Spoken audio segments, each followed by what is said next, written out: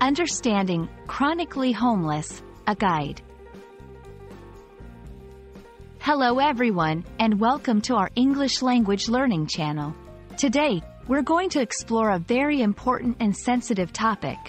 What does it mean to be chronically homeless?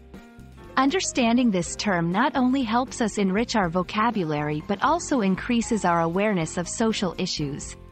So, let's dive into this topic together and learn more about it. First off, let's break down the term chronically homeless. This phrase is composed of two words, chronically, which means continuously and over a long period of time, and homeless, referring to someone without a permanent place to live. When combined, chronically homeless describes individuals or families who have been living in a state of homelessness for an extended period or who experience homelessness on a repeated basis.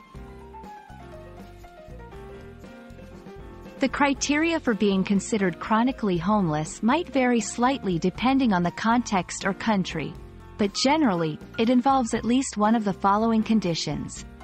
Living in a place not meant for human habitation, like the streets or abandoned buildings, for at least a year on four separate occasions in the last three years, where the total time homeless is at least 12 months. Having a disabling condition, such as a serious mental illness, substance use disorder, chronic physical illness, or disability, that makes it hard to maintain stable housing, Understanding these criteria is crucial to recognize the challenges faced by chronically homeless individuals and to foster empathy towards their situation.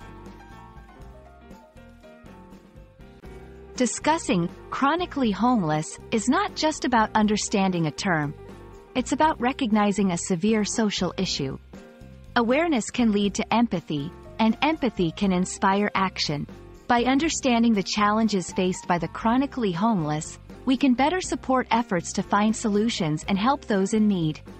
Whether it's through volunteering, advocating for policy changes, or simply spreading awareness, every action counts. Thank you for joining us in today's video on understanding what it means to be chronically homeless. We hope this discussion not only expanded your English vocabulary but also provided you with insights into an important social issue.